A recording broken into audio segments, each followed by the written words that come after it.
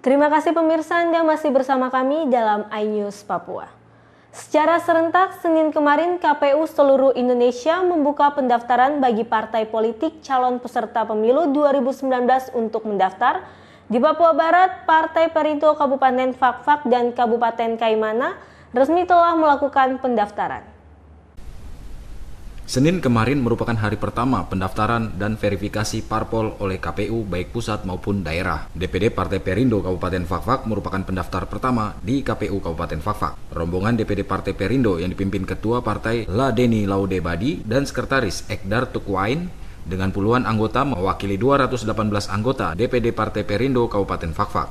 Rombongan menuju kantor KPU dengan menggunakan dua unit kendaraan roda 4 dan 10 unit kendaraan roda 2. Kedatangan DPD Perindo Fakfak yang dijadwalkan pada pukul 13 waktu Indonesia Timur tiba lebih awal 20 menit sebelum jam yang telah dijadwalkan.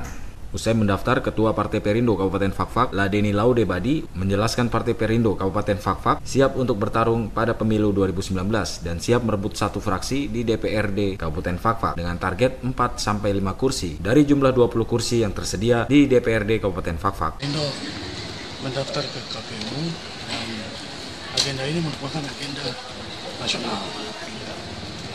Arahan dari Ketua DPP, Perindo seluruh Indonesia di 33 provinsi termasuk DPD melakukan pendaftaran pada tanggal 10 Oktober, yaitu pada pukul 1 siang.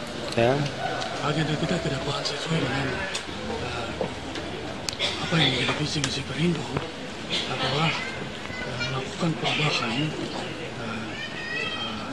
bagi Indonesia dalam hal meningkatkan kesejahteraan. Ya.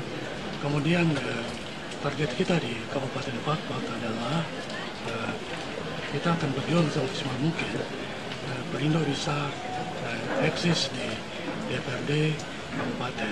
Saya kurang-kurangnya ada sekitar mungkin 4 sampai dengan 5 kursi. memang kita tidak bisa memungkiri bahwa ada eh, hal-hal yang kemudian eh, harus diverifikasi dan divalidasi tapi kami berharap eh, KPU Kabupaten Bakpak eh, dapat menerima apa yang disampaikan oleh Perindo Bakpak karena eh, sesuai dengan ketentuan undang-undang di Kabupaten Bakpak yang hari ini jumlah penduduknya 84 ribu sekian eh, berarti kita tiap eh, partai politik di Kabupaten Papua harus menyerahkan 84 eh, KTP dan KTA yang dibulatkan KPU ses- sesuai dengan kesepakatan dengan partai seluruh partai di Kabupaten Papua menjadi 100 sehingga hari ini eh, menurut eh, ketentuan undang-undang kita sudah eh, di atas angka itu.